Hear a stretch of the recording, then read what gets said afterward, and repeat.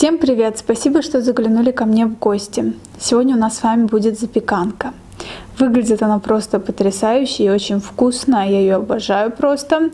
Рецепт вы можете найти на нашем кулинарном канале, который называется iCook. Ссылочка на рецепт будет внизу.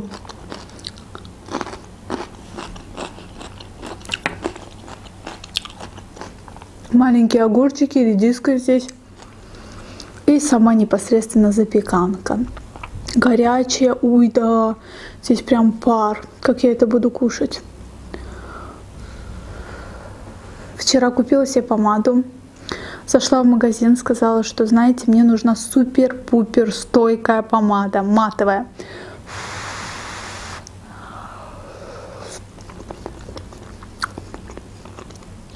Мне продали одну помаду от Нот из какой-то линейки новой с витамином Е.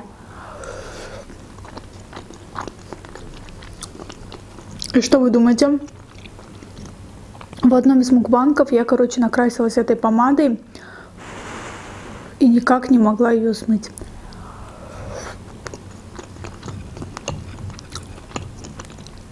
Я уже чем только не терла.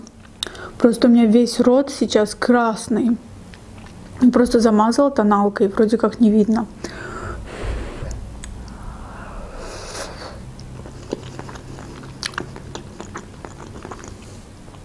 Да, она стойкая, она не смываемая, но когда ты захочешь ее смыть, это просто нереально.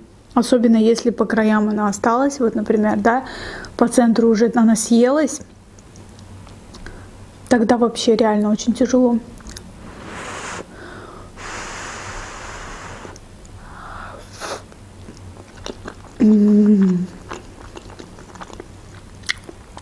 Ребята, это очень вкусно.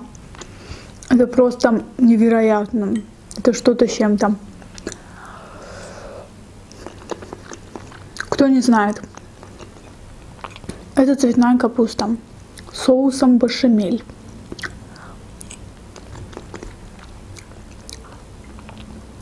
И еще сверху плавленый сыр. Просто настолько все горячее, что невозможно кушать.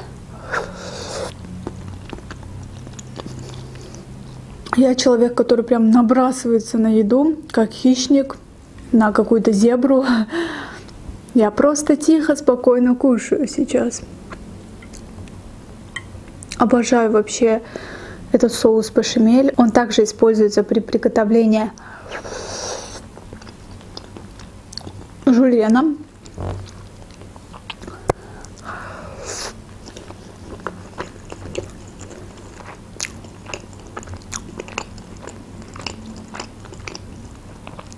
Время уже 11 часов ночи. Самое время покушать. У меня появилась новая идея для съемки видео в Инстаграме. Не знаю, понравится вам или нет. Сначала что-то меня все хейтили, что вот ты танцевать не умеешь, не танцуй и так далее. Но последнее мое видео очень всем понравилось, все писали хорошие отзывы.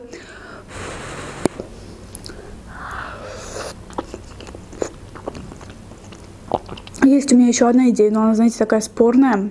Я думаю, что 70 на 30, может быть, она никому не понравится.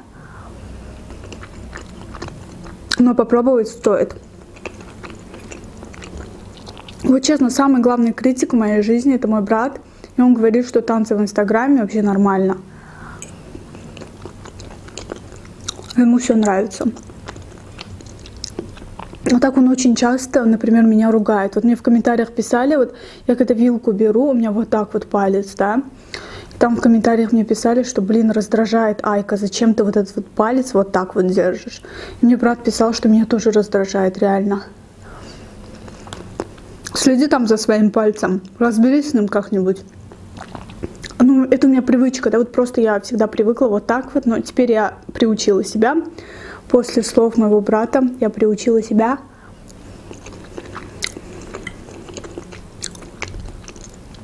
Как же нежно, Господи. Затраты небольшие, но, например, на жульен очень много продуктов уходит и очень дорогих. Получается блюдо затратное. А вот это вот и вкусно, и очень дешево. Посмотрите просто. Просто волшебно. Просто горячий, поэтому я не могу.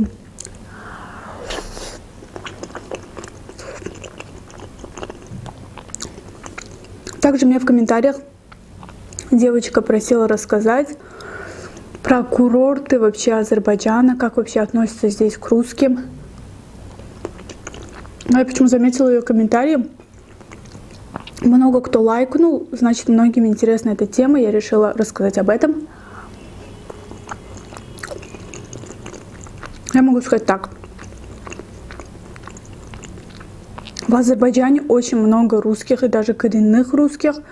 У меня есть одноклассник, также мы в универе с ним вместе учились, его зовут Витя, и он русский. У него есть родственники в Москве, и у него есть возможность туда переехать, но он не хочет, ему нравится здесь. Такой шустрый парень. Очень хорошем месте работает, у него там свой бизнес и такое. Короче, вообще парень молодец. И сказать, что кто-то как-то к нему плохо когда-то относился, никогда. Вот никогда. Вот нацизма здесь, что-что, вот нацизма нету. Здесь людям пофиг, мне кажется, какой-то национальности. Самое главное, чтобы ты был хорошим человеком. Я не знаю, не могу судить про все отрасли, я не знаю про всех людей, но то, что вот я своими глазами видела, это знаете, на что похоже? Мне всегда говорили, я не буду говорить, кто именно, потому что люди, которые мне это говорили, они смотрят мои видео, я когда в универе училась, нет, даже я когда в школе училась, мне все говорили, знаешь, в Азербайджане везде коррупция. Я говорю, я что-то не замечаю эту коррупцию. Мы даже учились в школе, мы даже не платили никаких, ну как сказать, коммунальных, да. Например, за уборку класса, за охранника. Ничего с нас не собирали, представляете? Вот я училась в школе. Ну там учителям можно было дать на лапу, чтобы... Господи. чтобы какие-то предметы тебе ставили хорошие оценки. Но это по желанию. Можно дать, можно нет. Вот я училась в школе, мне все вокруг говорили, ты просто не видела настоящий Азербайджан, ты учишься в школе, ходишь в школу, возвращаешься домой, вот поступишь ты в университет, Тогда ты поймешь, что такое коррупция. И что? Я поступила. Все было честно. Кто хорошо учился, тот поступил, кто плохо учился, не поступил. Кто учился средненько, поступили на платное.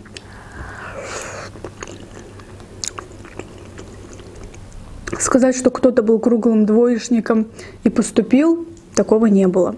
Там были, знаете, парни, которые вроде как не занимались, но просто хорошая память у них. Они даже вот сидели на уроке, учительница что-то спросит, а я даже конспект читала. Я ответить не могу, а он отвечает. Я говорю, откуда ты знаешь? Ты же даже не, даже не читал, ты у меня не брал конспект. И он мне такой говорит, так она в прошлом видео это все рассказывала. Вот так вот. Вообще, мне кажется, что у парней лучше память, чем у нас у девочек.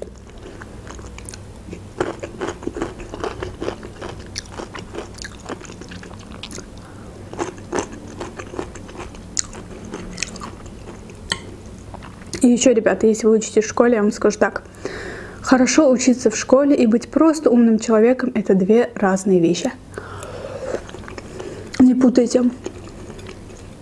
То есть кто читает вот, кто-то хорошо учится в классе, все, он станет миллионером. Не факт. Не факт совсем.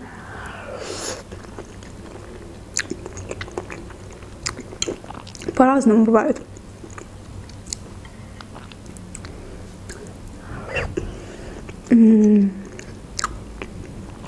Очень вкусно.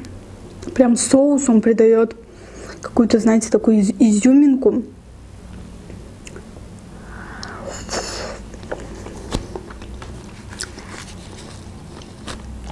Так вот, я начала работать, ой, я закончила универ, и вроде без никаких проблем, знаете, никакой коррупции я не заметила. Один раз у нас пришел учитель из другого универа, Он говорил, что нужно сдать 10 говорит, рефератов. Но если вы не хотите, вы можете заплатить мне 10 монат. И у нас есть там девушка, которая будет писать за вас эти рефераты. Ну, понятное дело, что никакой девушки не было. Он бы просто собрал со всей группы по 10 монат и положил в карман. И всем бы написал плюс. Но сразу же ректор узнала об этом, прикрыла лавочку педагога и сказал до свидос. Иди преподавать туда, откуда и пришел. В общем, как-то так был разговор очень короткий с ним.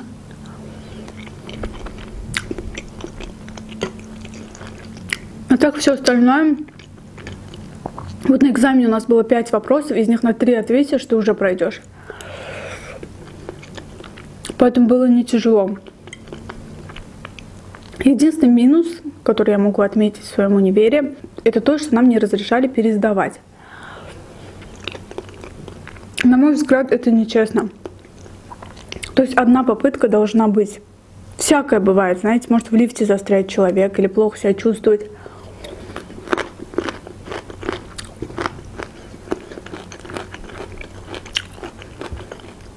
Застрял в лифте, как говорится, это твои проблемы. Не надо было застревать в лифте, надо было приходить на экзамен. И все, у тебя срез.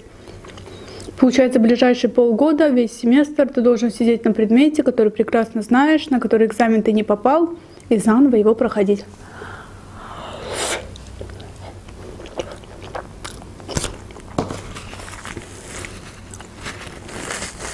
На мой взгляд, это не очень честно.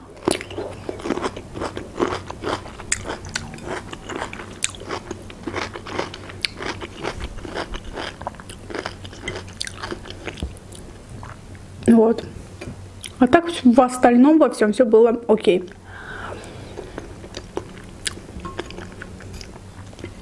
Единственный момент, который я вам рассказывала, это то, что меня нечестно выгнали с экзамена. Если кто-то учится сейчас в Карб университете, это сделала Натаван Ханом. Я не знаю ее имя, фамилия. Если бы знала, я прям сюда фотографию бы вставила. Это реально было максимально нечестно, особенно с предмета, который ты знал просто на пятерку. Взяла без одного предупреждения, меня выгнала с экзамена из-за того, что мальчик, который сидел рядом, у меня списывал. Гениально. Это единственный человек, который, которого я реально ненавижу, честно. Ненавижу я.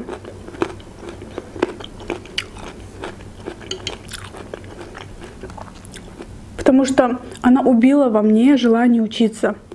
Был первый курс, я еще особо, знаете, не разбиралась. И просто взяла, выгнала меня с экзамена.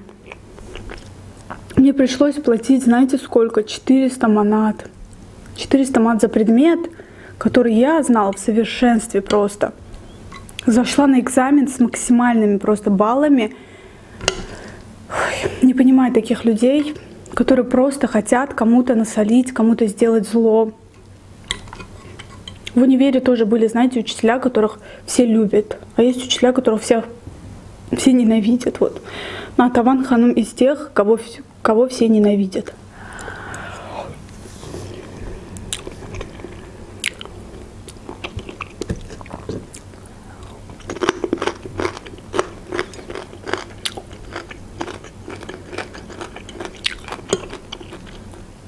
Опять вы знаете, когда я начинаю думать о таких вещах, я начинаю себя успокаивать.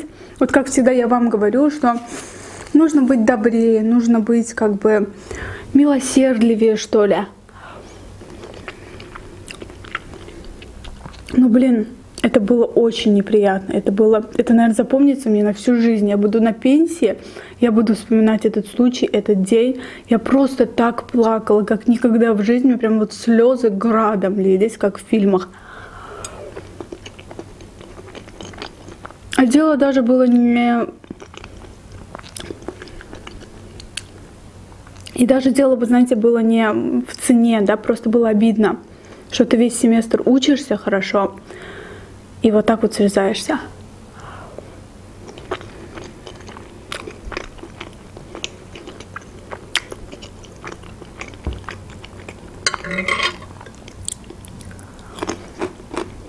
Ну, в общем, закончила я с горем пополам университет в прошлом году. Все родственники мне начали в один голос говорить, вот сейчас ты поймешь, что такое коррупция. Посмотрим, найдешь ли ты работу или нет. И что вы думаете, я нашла за неделю работу после окончания университета. Причем работу по специальности. Помощник директора.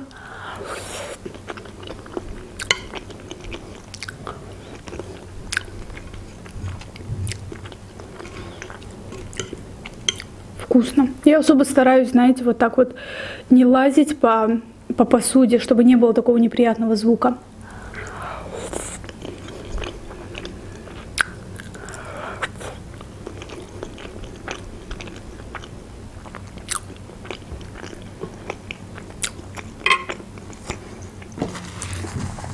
Вот мне все пишут в комментариях, бери пластмассовую вилку. Но вы знаете, ей очень неудобно. Элементарно, когда, например, что-то жесткое, ну просто не заходит.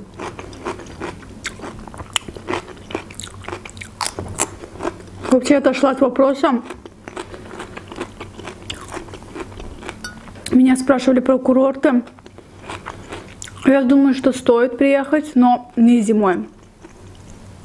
Лучше весной или осенью.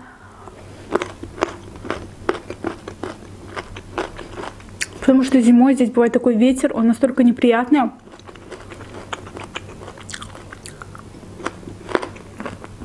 Баку также называют городом ветров.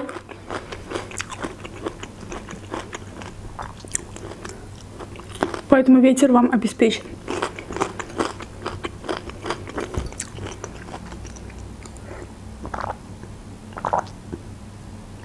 Сок новый.